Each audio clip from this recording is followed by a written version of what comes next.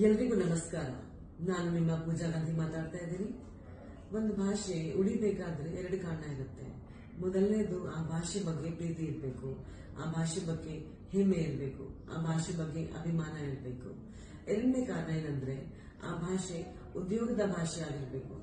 ಆ ಭಾಷೆ ಅನ್ನದ ಭಾಷೆ ಆಗಬೇಕು ಆದ್ದರಿಂದ ಕರ್ನಾಟಕದ ಕೈಗಾರಿಕೆಗಳಲ್ಲಿ ಕನ್ನಡಿಗರಿಗೆ ಶೇಕಡ ನೂರರಷ್ಟು ಮೀಸಲಾತಿ ಸಿಗಬೇಕು.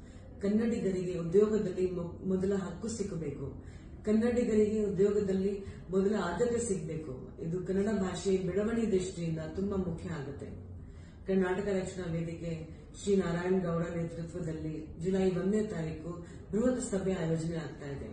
ಈ ಹೋರಾಟಕ್ಕೆ ನಾನು ಬರ್ತಾ ಇದ್ದೀನಿ. ನೀವು ಬನ್ನಿ.